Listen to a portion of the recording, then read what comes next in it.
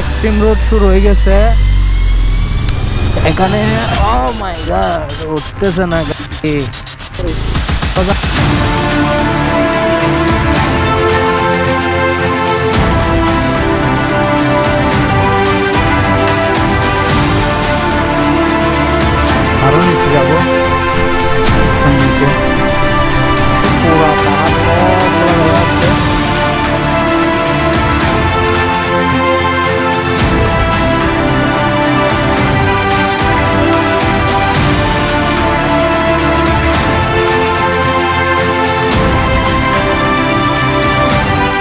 আমরা অনেক ভিতরে চলে আসছি মেবি আর কোনো বাইকার আসে নাই এখানে।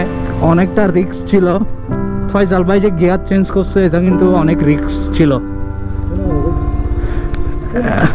আরে, এখানে নামাই দেবো না ডাইরেক্ট একটা নে একটা নে আমি হেঁটে উঠতেছি, আমার অবস্থা খারাপ।